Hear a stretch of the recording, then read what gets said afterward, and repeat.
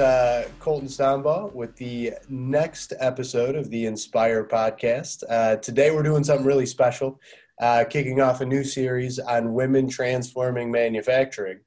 And we couldn't think of anybody better to be our inaugural guest for this series than Allison Grealis, the uh, president and I believe co founder or founder of Women in Manufacturing, uh, one of the largest organizations uh, supporting women in manufacturing.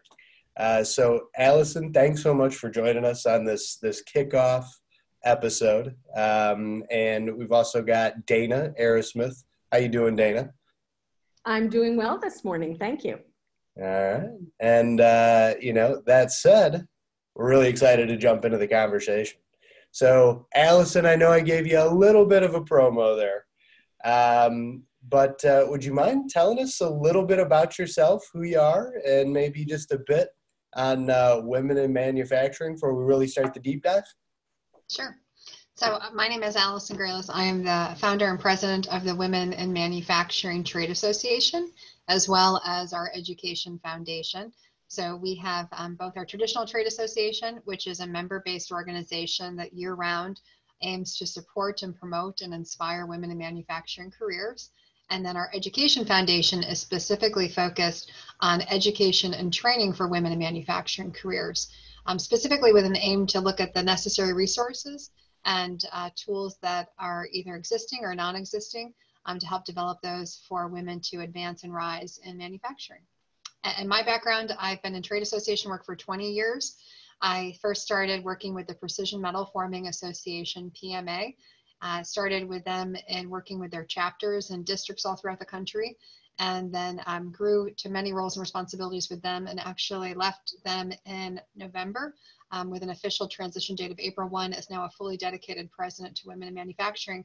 I've been doing both for 10 years, and I'm very excited to now be the to be solely dedicated to the Women Manufacturing Association. So, mobilizing large groups of manufacturing professionals for the greater good is nothing new to you. Right. okay. yeah, that's great. And then, Dana, how about a, a few quick notes on you? I, I, think you're a recent addition to the, the women in manufacturing community. Is that right? I, I am. And it has been so welcoming that I have uh, taken the role of secretary for Mid Tennessee for the new chapter that we're starting off. Um, so it's been a great time to join women in manufacturing. Uh, we just conducted a summit that was spectacular. Um, had lots of good networking and information, especially for me being new to the organization. I was thrilled to be a part of it. And um, I'm just looking forward to see how we grow the Tennessee chapter. fantastic. All right. So, you know, Allison, kind of diving into the history of women in manufacturing a little bit. I think you gave, you know, a couple really good primer points there on, on kind of being the, the founder and, you know, the, the size and breadth of the organization. Um, but what are the, the different discrete ways, you know, day to day um, that women in manufacturing kind of, you know, helps promote women in the, the manufacturing workforce and in the different ways that people can get involved uh, ultimately that help the, the greater business community yeah, so our organization was founded on the principle that it's important for women to have a community. So our goal is to connect women with peers and colleagues who are in manufacturing careers that they can network with, that they can share resources with, and most importantly, feel supported by one another. Um, you know, we think of it almost as a sisterhood of women in manufacturing careers. That uh, when I first got started, much of the impetus for the organization was I had the great opportunity to work with a lot of small to mid sized business owners and leaders in small privately held metal forming companies. And so many of them were the only one or one of just a few women within their organizations. And often they felt isolated and they, they lacked this knowledge of who else is out there who's dealing with these same common issues and challenges. So we were founded on this principle of building a community for women in manufacturing. And year round, that's really what we're focused on. So, providing women access to that community through an online portal, helping them now have access to 26 local chapters throughout the country where they can locally network and find new connections and share information. And then nationally, we work with a handful of corporate partners in a, in a more intensive way than just a traditional membership. And we work with those companies to really share best practices. So companies of all different sizes can join women in manufacturing and, and then learn from kind of the best and brightest as to the strategies that they're deploying to recruit women, to advance women, and to help retain their female talent. So year round providing lots of resources. Um, obviously, much of what we did prior to pandemic was live. So we have quickly now transitioned to delivering all of our benefits and services through a virtual component. So our chapters, including Tennessee, are all kind of pivoting and now delivering this value of what would have been a live meeting in a virtual way. Um, and we ourselves as a national organization have taken any of our live programs and put those on pause for the safety of our members. And we're now delivering virtual events. So our summit, which Dana referenced, is our big annual meeting. We just conducted that two weeks ago and had record attendance. And I think one of the benefits of the pandemic has been that it's really helped us to reach more people. So we've always really aimed to, to represent and to connect with women at all levels of manufacturing. But women in production have been really the most difficult women to reach because we know they have more constraints on their time. They don't often have hefty travel budgets, sadly. Some of many of them don't even have emails. So how best can we reach them? So now going to a virtualized delivery of services have really helped us to get into to other layers of women in manufacturing, which has excited us. Yeah. No, we'll we'll dive into to the logistics of that event in a, in a little bit. Obviously, we've got a a pretty broad manufacturing audience in the the marketing sphere. I think they're going to be very interested on some of the lessons learned there. Um, but let, us unpack a little bit, like the the different industries. Obviously, manufacturing can be so broad. Um, you brought up you know, metalworking obviously incredibly important. What are some of the other key industries that, uh, well, I guess maybe sub industries that women in manufacturing, you know, works to build the support network around? Yeah, we work with many different verticals. So when I first started the organization, um, I had a background with the Precision Metal Forming Association with working a lot with the automotive industry. So we work a lot with kind of the automotive vertical. We work with appliance, we work with off highway, we work with medical, um, technology, electronics. So really we're connected to all of them. And what we've tried to do is to foster discussion groups or kind of micro networks within our, our organization for those women to connect. So if you're in food manufacturing, um, we try to connect those that are in uh, similar verticals and segments so that they can network with those. We also partner with a lot of other organizations. So there are other organizations completely dedicated just to women in aerospace, for example, or just to women in defense. Uh, it sounds like maybe that'll help increase the velocity to reach all these different different areas. So that's that's a pretty exciting time. Um, you know so so one of the things we've hit on a couple times is the fact that, that you're the founder here but it sounds like how, how do you find the time or maybe better the inspiration? Because you know we as, as manufacturers and a lot of our audience we're very familiar with a lot of the big industry associations. Um, you know the metalworking association you came from is an extremely prominent one how do you find the time and inspiration to found something like Women in Manufacturing while still doing that up until very recently?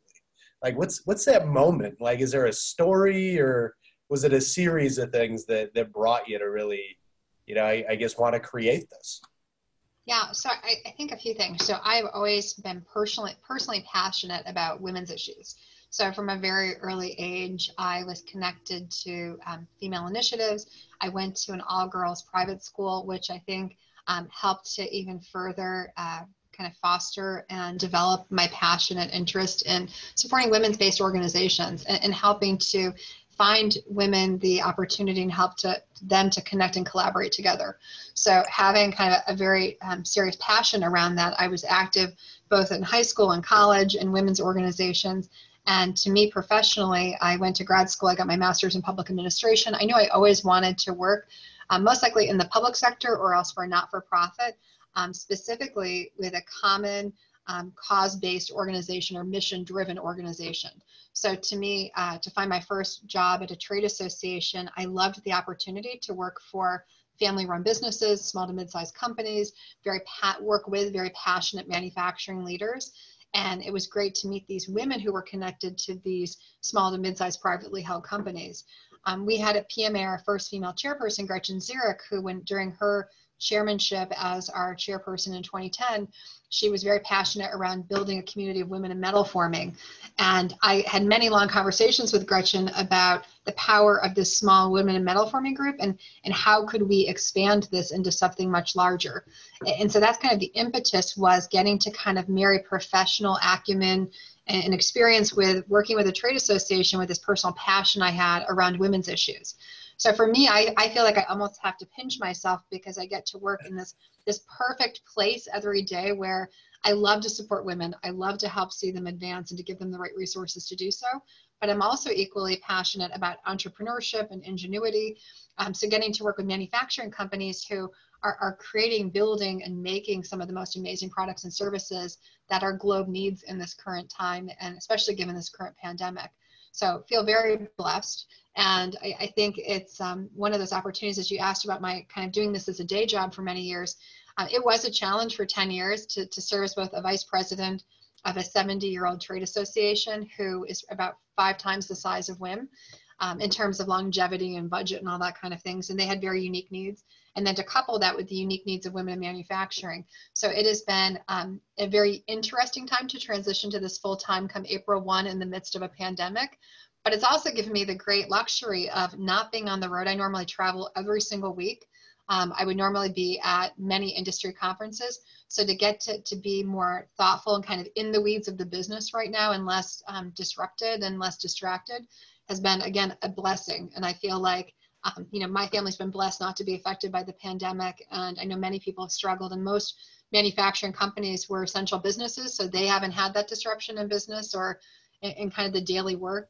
So for me, it's been a great time to be able to plug into the business to transition um, and look at lots of opportunities for improvement and efficiency and expansion of our services. Well, it seems like there's just so much alignment there. And, and it's funny, whenever we really talk about, you know, somebody's origin story, it always starts with that like passion from a very young age. And then as things progress, like you said, you got to pinch yourself, but like you almost wonder is like, is it saying maybe you make your own luck or you if you seek you'll find it I, I don't know you know i'm sure random chance probably had a part but you know it's always interesting that seems to be the connective thread and tissue is like no i i was passionate about this i didn't realize maybe but i was passionate about this before i even got started you know which is incredible now a, so as i think about that right so the you know in master's in public administration, you know, you know you want to make a big change and, and enter the nonprofit sector. I mean, that, that itself is very broad. And I think that this is probably a, a kernel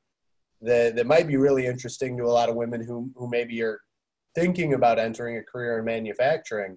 How do you go from broad wanting to, to really help the greater good, you know, advance women's causes, and then choose to do that in the world of industry, right? You could have went anywhere, but that's where you ended up. What what brought you to the the industrial or manufacturing world? Well, I think I like a challenge. so I, I, think one of the the most um, exciting and interesting facets of the work that we're doing is that we are a challenged industry. I mean, manufacturing is still very male dominated we still have some need for a, transition and, and change and modernization of manufacturing cultures in many instances. So I, I, think I like the challenging piece of it. And, and I think it's where kind of my my my passion I think was needed most at that juncture in time where there was an underrepresented community that was lacking resources that needed um, kind of some mobilization and, and needed help in in connecting kind of the people together who were passionate about this cause. So, I mean, I had a great advisory board that helped us when we first got started. They were women from large size companies with many years experience, as well as women from small, some of the small to mid-sized metal forming companies that really helped shape the direction of the organization. When we got started, we could have done lots of different things. And we had tons of people coming to us saying, hey, we want you to focus on K through 12 education, or we want you to work with campus recruiters. And, and our board really helped me figure out we can't be everything to everyone that we could probably be most effective if we narrowed our scope and the scope of our organization still remains the same as it was back then 10 years ago, which is to look at women in manufacturing careers. So to take those women who've already found their way into manufacturing and help them advance, develop, rise, and be successful. And we work with lots of other partners who work on the recruitment and, and the attraction pieces. We work with Girl Scouts regionally and nationally. We work with lots of other engines that are really successful at their recruitment piece. Um, but we see our greatest success and impact being in those areas of women who have already entered into a manufacturing career and helping them to be um, the best that they can and help them have the largest career that they want to have. And, and personally, manufacturing, I, I'd always been aware of manufacturing. It's not something, again, I think if you talk to most people in manufacturing, they don't normally have a direct line to say, gosh, from age five, I knew I wanted to make things, and that led me into manufacturing. You know, unfortunately, we have a long way to go in in exposing parents and kids and and students to manufacturing careers and the opportunities that they offer. And so i like like kind of a similar individual. You know i don't think i was ever exposed to much about kind of manufacturing options or careers or applications. I did in college i had a few roommates and good friends who were chemical engineers and mechanical engineers. So some of them went off to work at goodyear and they went to work with manufacturing companies. So i had exposure there. And then my father we moved from upstate to New York to Akron, Ohio, the rubber capital. And um, he had worked for Firestone Tire and Rubber. So I was aware of um, kind of rubber manufacturing and his role that he had in sales. He wasn't directly on the shop floor or in production, but I was aware very vaguely um, of opportunities. And so, again, I think the alignment has been amazing to get to work in manufacturing um, to help individuals that are technically inclined or those that are uh, connected to other facets of manufacturing. Absolutely. Dana, can I pick on you for a second? Absolutely. Okay. So, you know, Allison just, just just dove into what brought her into manufacturing. Obviously, you work well. A lot of the audience already knows where you work, but Dean Houston, right? So we're a, a marketing and communications firm that is entrenched in manufacturing. Obviously, you are part of the Women in Manufacturing organization how the heck did you get into manufacturing? Right. I think these are really good stories for the audience. Yeah, you know, it was interesting because early in my career, I did a lot of consumer based marketing. And then I really once, and the founder of our company helped kind of pull me over too because he was so fascinating to talk to. I thought I can learn a lot from him. And I do love the technical aspects of what we do. And, you know, I've always been kind of, I love puzzles, I love problem solving. And I think at its heart, manufacturing, you know, has a lot of that. And it has also a really strong, you know, understanding of the customer, which I think is highly aligned with marketing.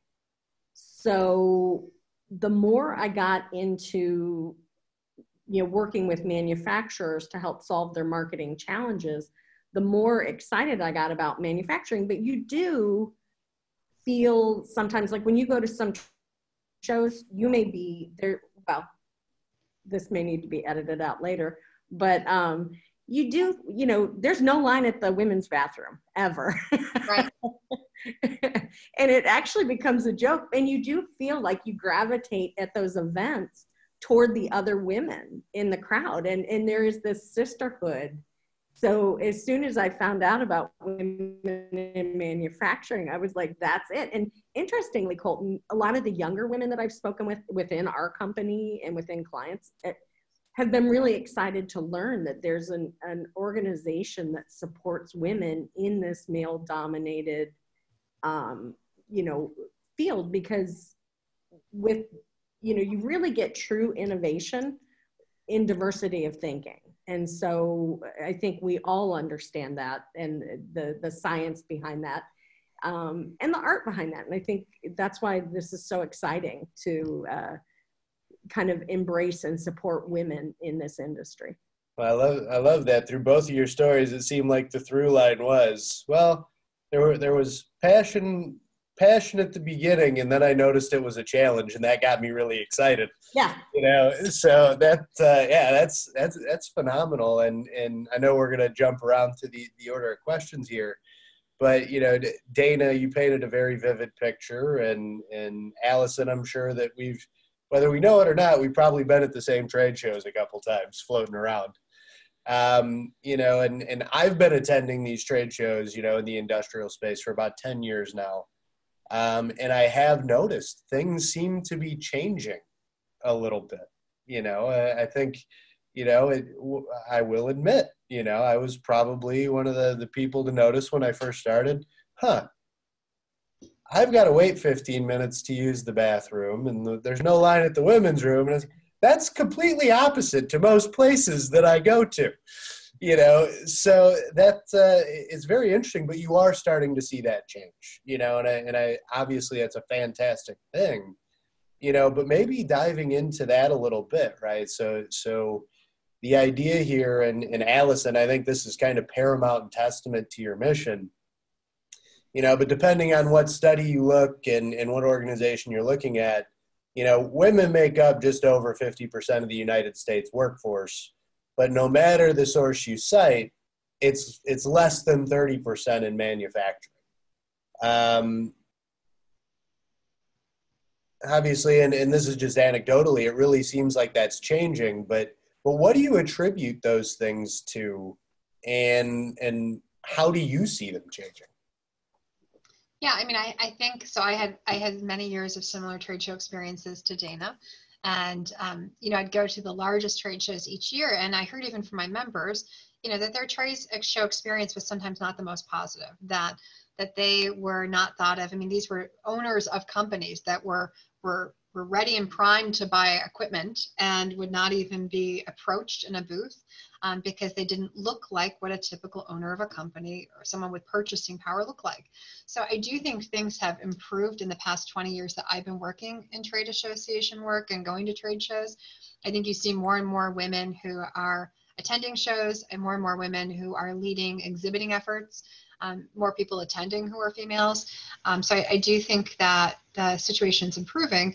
I, I, do think there's still a long ways to go, and that's what our organization always says. You know, when we first started our work, I think women made up about 27% of the manufacturing workforce. So we've hopped a whopping two percentage points in our 10 years of work.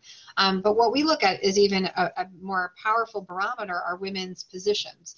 So while we care about the, the raw numbers of women in manufacturing careers, the goal is to get those women two powers of leadership because with women leaders that is where you directly can impact the culture and the hiring practices of an organization where you can change kind of the inclusivity and uh, kind of the statements around and, and the real um, execution of how uh, companies deal with female and diverse candidates and female and diverse um, talented individuals in their organizations. So our goal is to rise more women to the top and to get more women in positions of power and decision making in manufacturing careers. And so as we look at our formal leadership programs, that's our key goal and objective is to, to, to give these women the managerial and leadership skills that they need to rise the ranks and to, to be kind of top decision makers at organizations. Um, so I think it's improving. I, I think as you look at attraction, one of the key challenges is individuals not understanding those career opportunities in manufacturing. So our chapters are very active at local at the local level with community colleges, with K through 12 organizations, um, with other like-minded groups to help with the attraction piece. Um, we ourselves produce a story and series called Hear Her Story. So we've now profiled more than 100 women to talk about a day in the life of their career. We posted on our blog, and then in 2021, we're really excited because we're starting our own podcast um, which will specifically focus on taking that Hear Her Story, interview it, and making it live. So, a real life conversation with these women in manufacturing careers. And the stories are so amazing. I mean, so many of these women, they first started at the hourly ranks. They were working at the shop floor, they were um, a tool and die maker, they could be an engineer. Uh, they could have uh, many different roles and ways that they started and now are leading global operations and some major responsibilities within manufacturing companies. And it excites me when we get to share their story. And the goal is that these stories trickle down to women and to other individuals who are thinking about, gosh, what do I do with my life? Where do I apply these skills and this passion that I have? And we hope to try to direct them to apply that to a manufacturing career. No, I, I think when you, you look at that, like talking about, you know, advancing through the ranks, like that awareness piece, like you were, you know, talking about the podcast that you're about to start and that Hear Story initiative, like even the the awareness of knowing that that there are jobs past the production floor you know and, and that awareness i mean you know, obviously I, I, I can't relate to the, the female component, but until I really understood, and, and my, my father was in the automotive space, that was my impression of manufacturing, right? So, so the fact that you're out there telling those stories, I mean, that's an incredible thing, you know. And and I was going to ask you what before we we dive into some of the recent initiatives that that women in manufacturing is running and and the like the Hall of Fame and your recent event and your future events. I'd like to ask you, and, and think again, we've been getting pieces of this throughout the whole conversation. Like some of the, th- what are some of the things you're most proud of, and and some of the things you look back on, you know, and put the biggest smile on your face when you think about your women in manufacturing journey and where where you've built and brought the organization. Yeah, I, I think you know, I would say our community's growth has been one of the most exciting pieces and what gives me huge delight when I look at our growing numbers of members that we've got. Um, the fact that we've now grown from not just the United States, but now to overseas and having people in 11 countries, um, multiple countries represented as part of our membership. So I think the expansion really makes me excited. And to see our pie chart change and continually shift to be more representative of not just those at a manager level and above, but those at different levels and to see our growing slice of people that we're serving who are in production really excites me. And I think our new Empowering Shop Floor Women's program that we're launching next year will continue to help us reach more women in production and women in operations who really probably need us most, who, who are who are you know in a position that's usually in an hourly rate and not really sure, gosh, what do I take with this skill set that I've learned and how can I apply it to that first line of leadership? So really excited there. I would say probably one of the most impactful things that I've seen over the course of the years is our formal leadership programs. So I get really excited when I, I still stay in touch with our first class that graduated from our Leadership Institute, which used to be called our Leadership Lab for Women in Manufacturing. It was the only and still is of its kind in the country. And that first class of around 20 individuals that graduated, they've done such amazing things since completion. So one of our inaugural members was at the time an office admin. So she was supporting a small to mid-sized company. She um, was gaining confidence in her role and her skill set. And just last week, she signed the papers to become one of the co-owners of that company um, just in six years after completion of the class. So that uh, first class, and I talk to them often. I mean, some were in one woman as well um, who was a graduate of that class. She was in quality. She had um, kind of a mid-level position in quality. She's now a senior director in her area of operations for GE Appliances. So again, it, it's giving women the skill sets and the support they need, making sure they have access to resource, resources.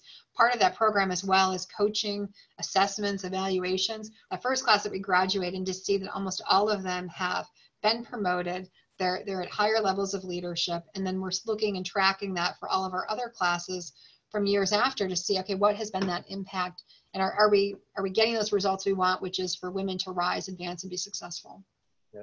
Well, and, and yeah, I mean, last time I checked, they don't really have upward mobility in mid-sized manufacturers and part of any uh, colleges or or educational program formally. You know, right. so like that gap there, you know, and well, some of the anecdotal stories you you told us there speak for themselves. I mean, I I would imagine a couple of those individuals might have their stories out there either already or sometime soon. Just guessing, but. Yeah. Uh, yeah, well, we'll make sure you reference some of those things in the show notes. Yeah. Dana? If you think if you think about leadership in general, there's a serious dearth of leadership training. You know that no matter even outside of manufacturing, the things that make you good at what you do don't always make you a good leader. Right. And I think that's especially true within the manufacturing industry. So this kind of training is critical to the future of the industry. Absolutely. You know, and again, it's it's noticing like that there's a problem there and then aggressively solving it. I mean, it, it it's it's incredible. Um, you know, so Dana, I'm going to pick on you again here because I, I completely expect you to give a a fair and balanced, completely honest, non-biased report. But but shifting into some of the things that women in manufacturing has done recently, you mentioned that you just attended a pretty large scale virtual summit. And this is where we're going to shift a little tactically, you know, because we do have a lot of marketers in the audience trying to figure out this virtual event. Right. how was that event as an attendee? And like I said, completely fair and balanced. Pay no mind that uh, the president of the organization is listening. Yes. What was your experience through that event? I will block Allison's picture on my screen. but no, it was really well done. And I'm not just saying that because I'm a member. It um and this is honestly the first bigger uh, event that I've attended. The thing that I liked about the Women in Manufacturing uh, Summit was that there were, you know, there was a combination of pre-recorded material, especially when you're engaging such a large group of people. Um, pre-recorded does play a role, especially I think it gives your technical team a little little break occasionally. Um, but it was pre-recorded. It was large group. It was small group. I mean, the small group stuff was incredibly impactful to me. Whether it was listening to um, a CEO of a, of a manufacturing company talk about inheriting the company from her father and what she's done um, to kind of innovate and, and expand the culture within that company. It was really impactful. Um, there were less than 10 people, and I could ask a ton of questions. And they, they're all women that have a, a lot of experience in, in the field and were so willing to share their expertise that it, it was really good. All right. So, Allison, I, I got to ask. So, it sounds like from Dana's, you know, experience, everything went very, very smoothly. I can imagine it was a completely stress-free exercise getting this all ready, right? You know, I, I and and reason I ask is like, what are the what are the big insights you have like on running an event at that scale virtually, with everything going on? So it was an experience. Uh, so, you know, our goal was to celebrate our 10th anniversary of our, our summit um, in Cleveland, Ohio, where we first got started. Obviously, things shifted and were delivered a bit differently. And we ended, I think, with, with close to 700 was our final number attendees to the event, which again was a huge increase from years prior. So I would say the complexity or, or, the challenging pieces was that we really, to Dana's point, we're trying to keep it interactive.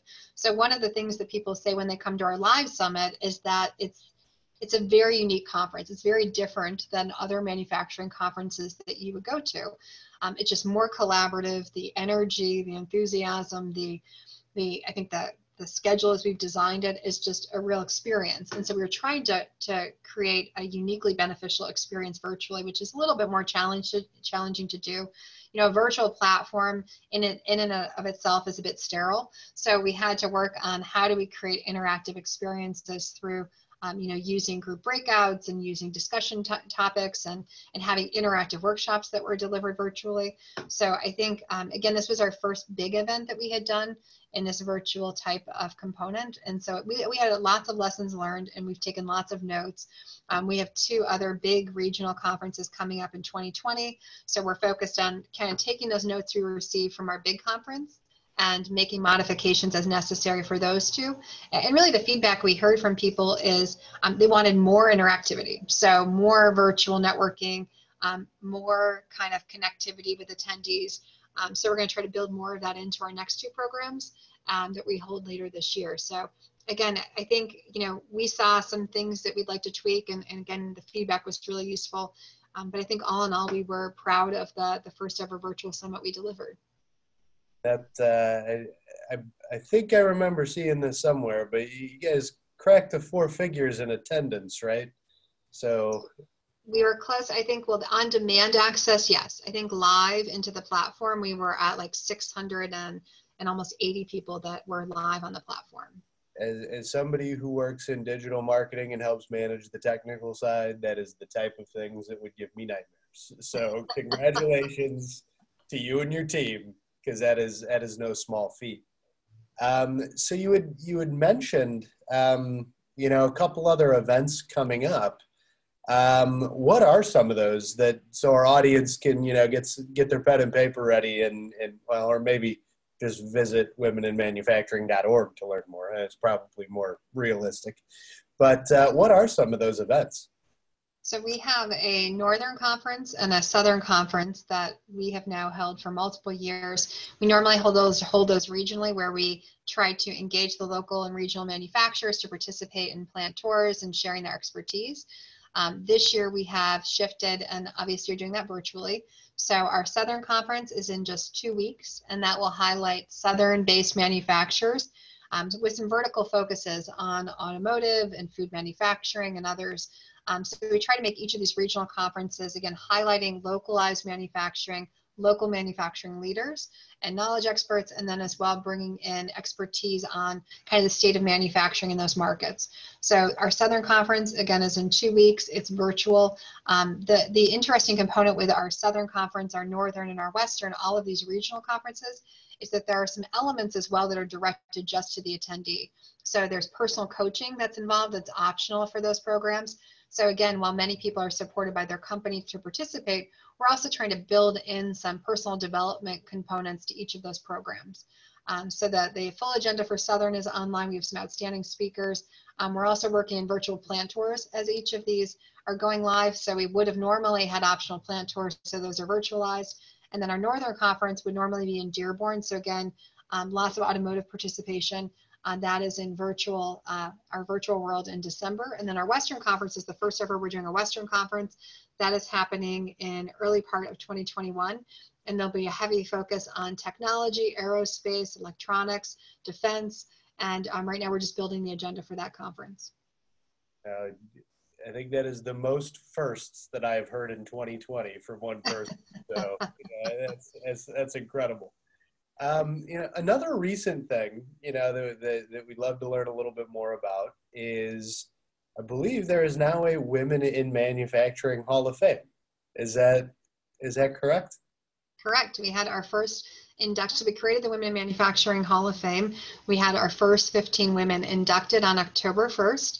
Uh, we did so virtually, and they are just outstanding women. So their profiles can be found on our Education Foundation website. So we have um, them as our first class, and right now we're open for nominations um, for next year for 2021 for women to be um, considered for uh, induction into the next year's Hall of Fame.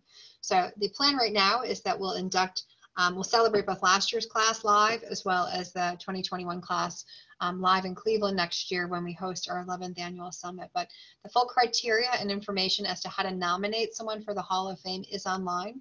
And um, last year we received more than 50 applications, uh, nominations for the Hall of Fame. So it is a selective group of women um, with kind of lifelong contributions to the industry. And we assume that we will have an amazing response again this upcoming year of more women to be considered. Uh, that, uh, that's that's incredible. So I know we're we're getting close to time here. We've got two questions for you. The the last one's going to be the shameless plug, you know, and, and, and giving people all the URLs and all the ways that they can get involved. But the other one I think is going to be the toughest one. So you know, say that, that that I'm a young woman, maybe starting my career in manufacturing, or maybe thinking about getting into a career in manufacturing, and I want to be in that Hall of Fame one day. What is the the 30 second advice that you would give that young woman? So I think if I was to speak to that young woman, I would share that um, for as she's in her career, to know that there's lots of others that have been there who are willing and very um, able to help lend guidance and support and to provide um, lots of resources along the way.